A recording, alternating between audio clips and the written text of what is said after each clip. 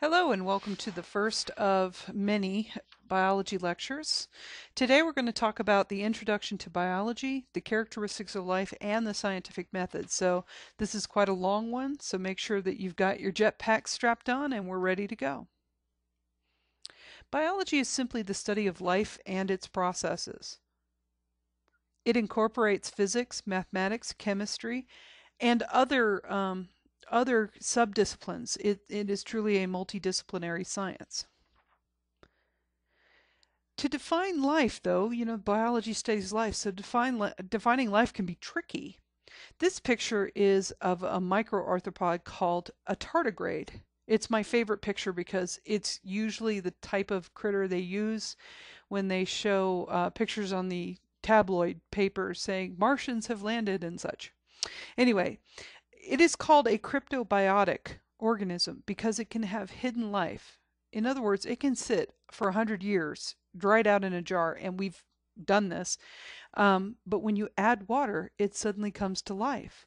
And it, it is an example of defining life is so difficult. And so living things exhibit a certain set of characteristics, but not all living things show all of them. And that's kind of a, a big debate here in biology. So the first thing is that living things show growth, which means adding more cells or ma more mass or stuff to the one cell that they have, depending on the organism we're talking about. Development is also um, a characteristic of living things. It's the change in structures or functions throughout the life of the individual. Metabolism is the total of all chemical reactions that occur in an organism, and it can also be viewed as how an organism obtains and uses energy. Reproduction's a tricky one because reproduction is necessary for the survival of a species, but it is not necessary for the survival of an individual. And so that can be a sticky wicket for a lot of people defining life because, you know, just because I don't have children doesn't mean that I'm not alive, kind of thing. Um, and so it is a characteristic of life because living things do that, but it is not necessary for the life of the individual. Response to the environment is particularly impressive, and you can even see this in single-celled organisms.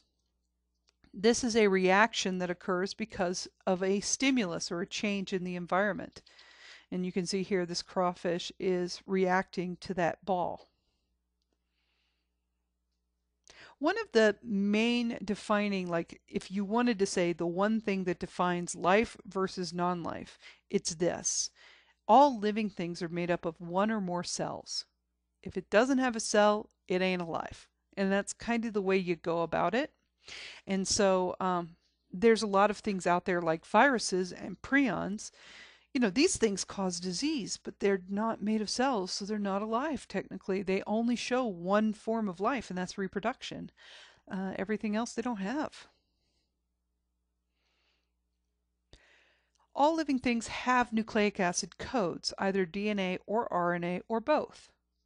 There must be a code for the proteins and chemical processes that the organism does, and that code is stored for in the nucleic acids of the organism. all organisms show some type of organization, whether it's internally in one cell or if it's if it's multicellular, ex, you know, external to the one cell. It could be a lot of different things, but there's a hierarchy of life. From smallest to largest, that is the atomic level, the molecular level, and then living things start because you start with cells. Okay? So at the cell level, you have all living things. Above the cellular level, you may not have all living things, but you do have living things, and that would include tissues, organs, organ systems, multicellular organisms. Beyond that, you go to um, populations, which are all one species. Sorry about that. There we go.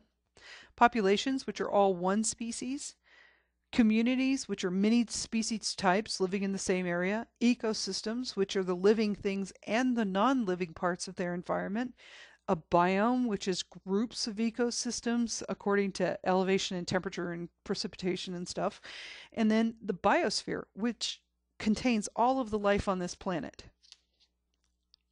So there's quite a bit of hierarchy. Living things also change over time. Now, not every species evolves, okay, but almost all of them do. And species evolved, but individuals do not. And that's one of those misnomers that people think of. They go, "Oh, I'm a highly evolved individual." No, you're not. You're an you're an individual of an evolved species. Um, you're not a highly evolved individual. It just makes you sound stupid.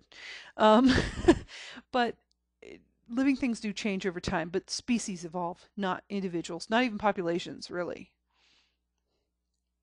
Okay, so that's going to stop the preliminaries, and we're going to pick up part two with the scientific method in just in just a moment.